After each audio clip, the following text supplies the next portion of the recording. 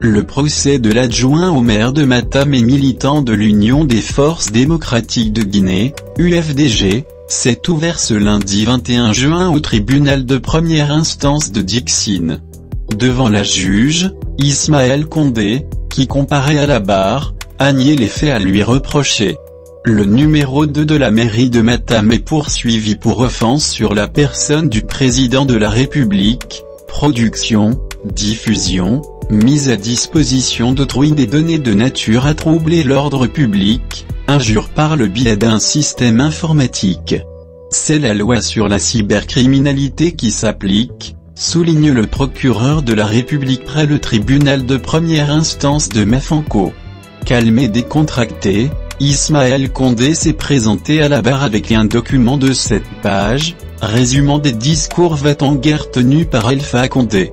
Toutefois, dit-il à la juge, personne ne peut apporter de moindre preuve ici que le président de la République en personne en disant à ses militants apprêtez-vous à l'affrontement leur invitait réellement à l'affrontement entre Guinéens. Personne non plus ne peut apporter de moindre preuve que le chef de l'État en disant que cette élection c'est comme si nous étions en guerre, demandait à ses partisans d'aller faire la guerre à l'autre camp, ajoute-t-il, en restant droit dans ses bottes.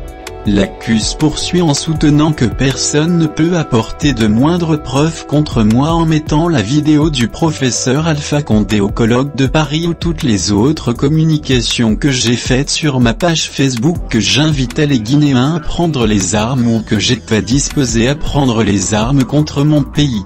C'était purement une communication politique et rien d'autre. J'ai été à l'école politique du professeur Alpha Condé, pas une autre.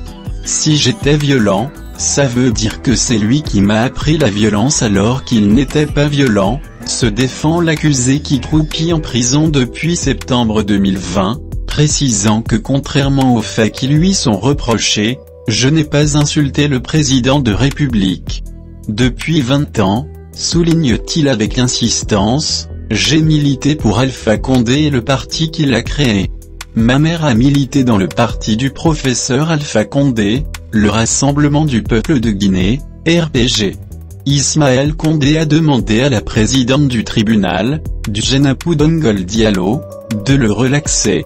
Je vous implore de me laisser rentrer chez moi après plus de 9 mois de détention pour que je continue à me battre pour mon pays, ma commune et aux valeurs démocratiques auxquelles je crois, plaide-t-il. Le procès suit son cours normal dans la salle d'audience du tribunal de Mafanco.